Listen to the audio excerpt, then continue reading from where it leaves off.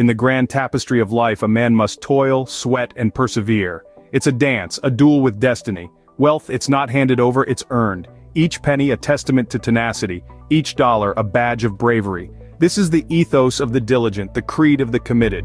To delve deeper into the realms of black wealth and economics, venture forth to theblackbusinessschool.com. The journey awaits.